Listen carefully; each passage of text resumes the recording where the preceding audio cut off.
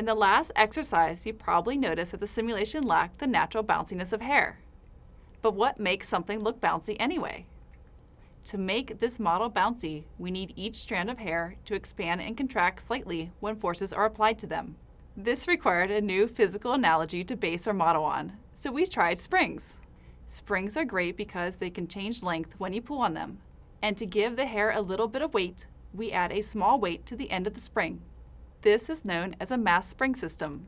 We can actually draw a mathematical model to explain what happens when a spring expands and contracts.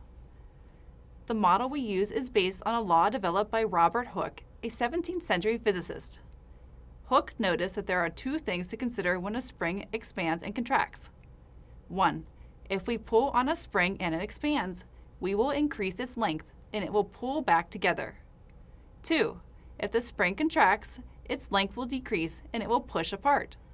How much a spring pushes and pulls is known as the spring force. Robert Hooke was looking for a relationship between the spring force and the amount the spring contracts or expands. We call this change in length displacement. Displacement is defined as the current length minus the rest length of the spring. When we stretch a spring, the displacement is positive and the resulting spring force is negative. This is known as the pull force. When we compress a spring, the displacement is negative and the resulting spring force is positive. This is called the push force. So Hooke's observation was quite simple.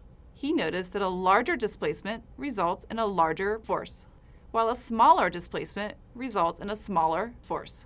That is, he noticed that the displacement is proportional to the force. However, every spring is different. Some take a lot of force to displace, and some are really easy to displace. So Robert Hooke introduced the idea of stiffness to account for how hard it is to displace a given spring. It is represented with the letter K. This led Hooke to his final equation, which is known as Hooke's law. The spring force is proportional to a stiffness times the displacement. Notice that there is a negative sign there. That's because we want a positive force when the displacement is negative and a negative force when it's positive. If we plug this equation into the computer, we get this realistic spring behavior. For Brave, we modeled the horse's hair using a mass spring system similar to what we are describing in this tutorial. Nearly 10,000 simulated hairs in total. In the next exercise, you can explore a simple mass spring system. You'll be able to adjust the following parameters.